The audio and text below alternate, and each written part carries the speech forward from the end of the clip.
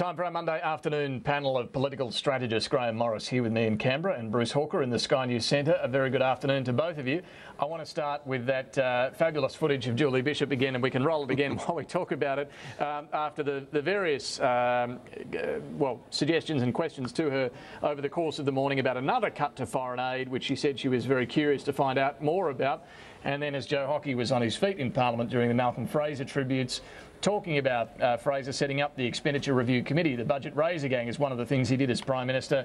Uh, this reaction from uh, Julie Bishop that you can see there in, uh, in the background in the camera shot. Now, um, Grahame, I said earlier there are two ways of reading that. She, uh, ministers often, um, you know, make fun of the fact that the, the Razor Gang's always getting into their funding. Well, well if you look, or she's what, if you particularly look at upset about this. if you look at what Treasurer Hockey was saying, and that was that, that Malcolm Fraser had set up the first Razor Gang. It's actually Yeah. true. Yeah. You know, Sir Philip Lynch um, headed it, so that was actually true. So presumably she's not rolling her eyes at that. Um, oh, it looked as if Minister Pyne said something to her, um, probably about, oh, here we go, here's your cuts coming up. And she's rolled her eyes heavenward at that rather than that. Tre- I don't know.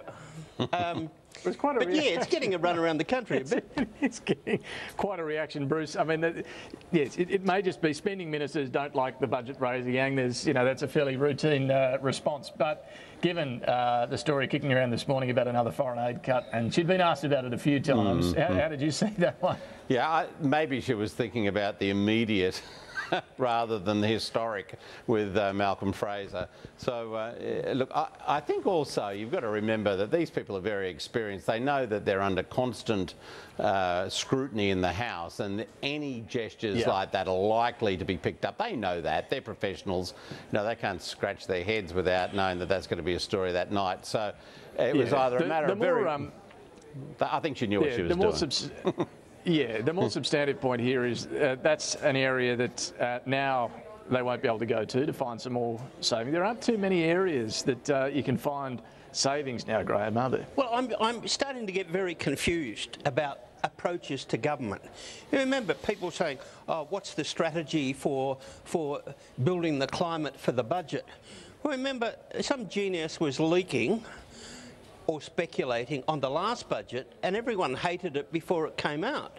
And here we are, seven weeks from the budget, and people are ruling things in and out. Why wouldn't you just say, Wait Look, the sorry, budget." I don't talk about the budget. Yeah. And then there's a story in the Sunday papers before the Tuesday budget. There's a whole bunch of things in the Monday paper, and that's it. I don't understand this stuff anymore, hmm. where people are starting to talk about the budget, some of which affects um, the markets. You know, say we start talking about aged care tomorrow. Well, you know, there's a there's a lot of people on the share market who make a hell of a lot of money just going in and out on speculation. And I, I you know, I heard Matthias Cormann's interview with you, sort of with a nod and a wink, ruling out more cuts to foreign aid. But here we are, seven weeks from the budget. Why? Yeah. Why? Well, because he's got an upset foreign minister on his hands. Well, uh, I, Minister Bishop could very well be the same. Look, I don't talk about budget matters.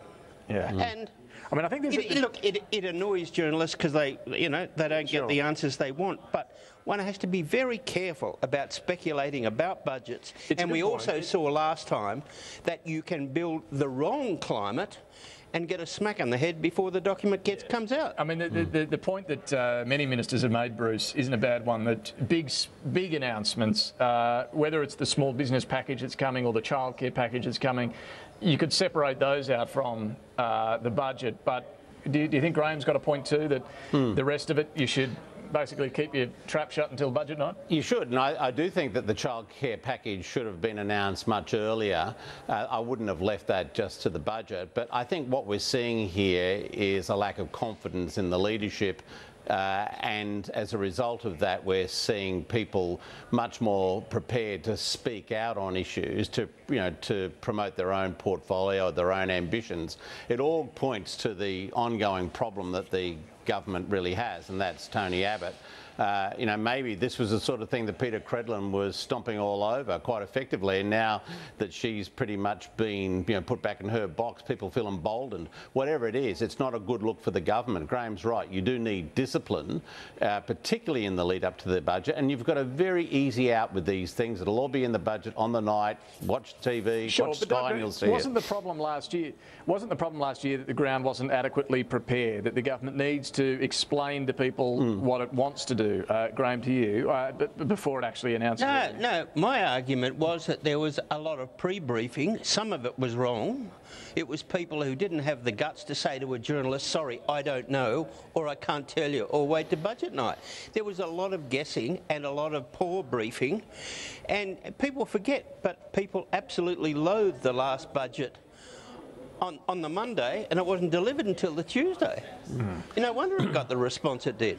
So you reckon uh, keep it all under wraps? Well, I just think it, it is a good rule and a good discipline. Otherwise, every second interview, you are quite entitled to say now to any minister, hang on, Matthias Cormann ruled this out, why won't you? Yeah. Hmm. Does that mean it's really in the budget? And then you start playing word games. But there are two different things here, aren't there? One is, you know, ruling things in and out of the budget, and the other is actually setting a strategic position or a course or frame in which to you know, put the case. Now, what they failed to do last year was to create the, you know, the impression, at least, uh, that the, you know, the economy needed to be reined right back in. They and spending needed to be reined back in. They didn't do that, and uh, and as a result of that, and particularly in light of the promises that they'd made uh, in the election campaign, uh, you know, people were doubly surprised when the budget came down and it was such a, a horror exercise because there were not meant to be these cuts that they said that they uh, weren't going to have in the election campaign, but then they introduced when the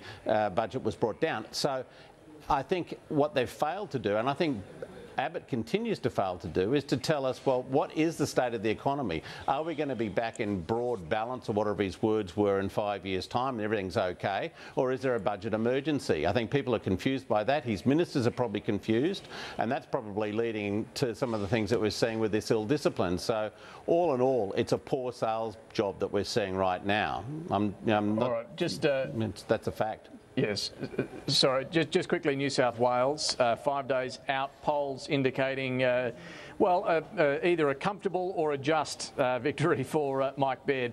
Um, Bruce, what are you expecting with five days to go?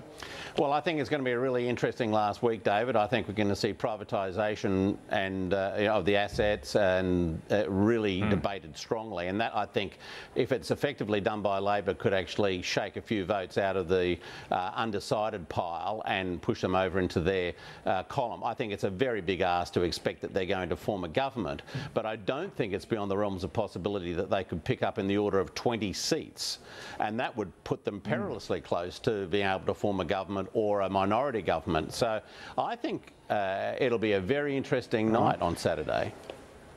Grahame? Uh, I I think common sense would tell you come back to the norm. So 12 to 15 seats automatically um, would go, and if the Labor Party didn't get that, they they might as well just go home. But I do think I do think the Premier has done a good job. I think most people think, you know, what is the reason to throw the Premier out? Uh, can't think of one. All right, well, He, he's, he's actually quite a good man. We will uh, see the results and we'll talk about a lot on uh, this program a week from today once all the results are in. Grahame Morris, Bruce Hawker, look forward to talking to you then. Thank you. Quick break, uh, back with more on PM Agenda. Stay with us.